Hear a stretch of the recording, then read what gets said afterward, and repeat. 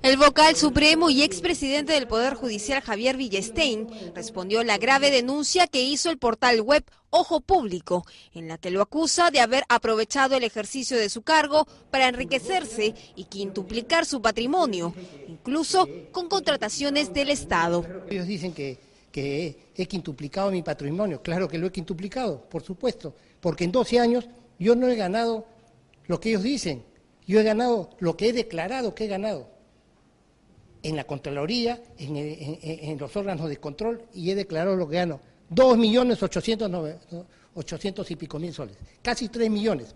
Esto solamente en el Poder Judicial de sueldo, de sueldo neto, sin contar las rentas de algunas propiedades, sin contar el sueldo de mi esposa y sin contar lo que he ganado en universidades, lo que he ganado como consecuencia de la publicación de mis libros.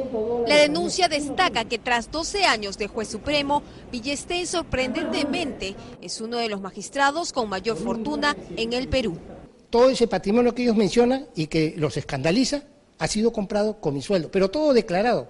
Por eso es que la Contraloría ni inteligencia financiera no tiene nada que decir, porque lo que he comprado y lo que he ganado calzan perfectamente. En otro párrafo de la denuncia indica que el magistrado no declaró el valor real de sus viviendas. Toda propiedad por escritura pública y a precios reales. Los precios reales son mayores que los que acá aparecen. Porque la mala fe de, esta, de esta persona que investigó dice lo siguiente, señores, por si acaso, ha puesto un valor menor del que valen los inmuebles. Es decir, dan insinúan que estoy ocultando mi patrimonio, disminuyéndolo adrede para que no me descubran. Pero no, porque la ley me obliga a poner el valor de autovalúo. Ojo Público asegura que el magistrado infringió la ley, pues su cónyuge, a través del Hotel IN San Isidro, obtuvo contrataciones con el Estado. Primero que el hotel no es mío, es de, mi esposa. Eso para comenzar. No es mío. Yo no soy contador, yo no veo su factura, no veo nada. Pero ¿cuáles son los montos de esas?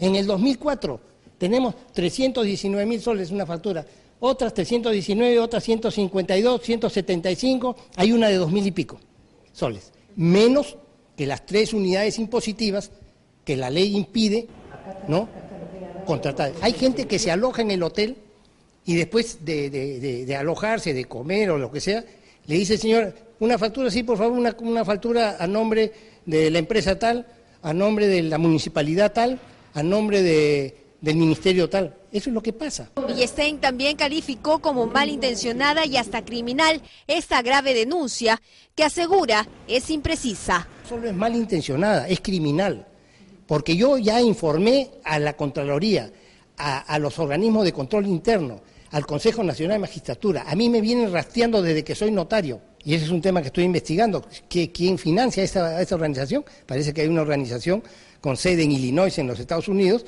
También dijo que detrás de esta patraña, como él la llama, están detrás los caviares que desde hace mucho tiempo están pidiendo su cabeza. Los caviares, pues los caviares, está clarísimo que los caviares están detrás de todo esto. Los caviares todo el mundo sabe que son una mafia que trabajó con el fujimontesinismo durante 10 años y después han seguido mamando ¿no? y trabajando con, con ellos. Eso es lo que estoy evaluando, estoy evaluando, porque esto tiene, como yo he dicho, a mí me, mejor es que me maten, porque eso es un ataque criminal, que me maten.